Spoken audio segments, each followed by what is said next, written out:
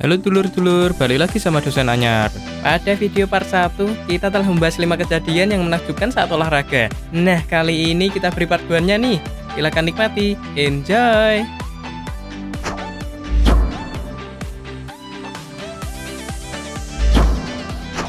Nah, sebelum dibahas, aku ingetin lagi ya kawan. Jangan lupa diklik subscribe supaya nggak ketinggalan berita lainnya.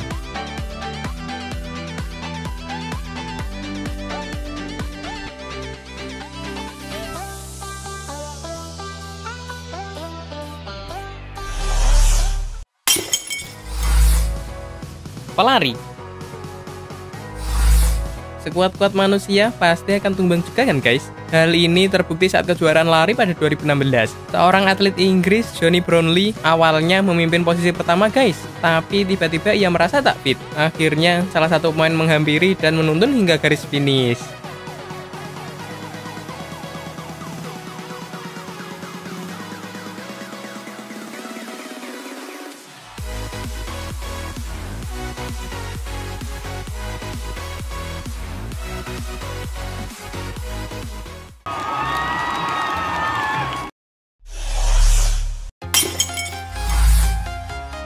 Goalkeeper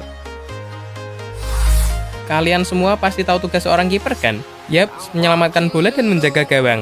Nah, pada Piala FA 2002, tim Arsenal dan Southampton saling berhadapan. Saat itulah kejadian menakjubkan terjadi.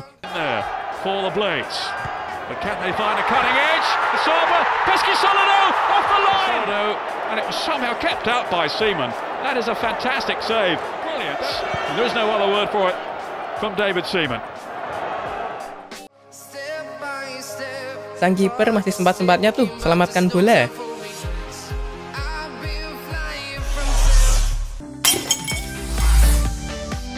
Baseball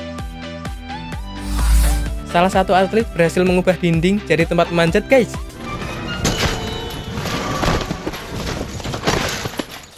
Gimana sih maksudnya? Saat bola baseball mulai dipukul, salah satu pemain berhasil loncat dengan menjadikan tembok sebagai panjatan. Keren nggak tuh?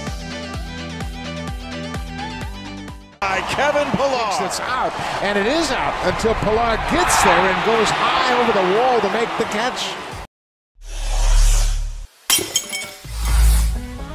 Basket Pada pertandingan NBA 2014, tim Houston Rockets dan Portland bertemu. Pertandingan berjalan hanya tersisa 10 detik guys, dan mereka memiliki poin imbang. Hanya tersisa 2 detik, tim Portland berhasil memimpin dua angka. Waktu hanya tersisa satu detik saja tuh guys. Dan pasti tim Portland sudah yakin mereka akan menang.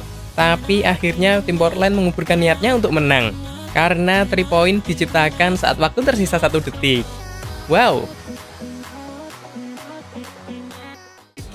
the series. It's Lillard. He got the shot off. Lillard, good! Good! And the Blazers win the series for the first time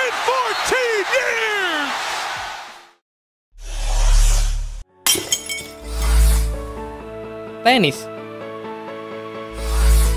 Para pemain tenis biasanya dihadapkan dengan posisi sulit untuk memukulkan. Pemain tenis dari Swiss yaitu Roger Federer berhasil mengembalikan bola dalam keadaan sulit tuh guys.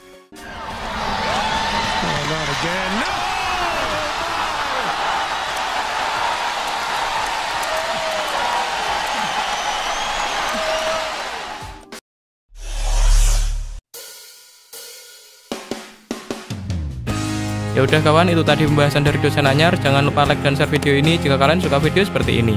Oke, okay?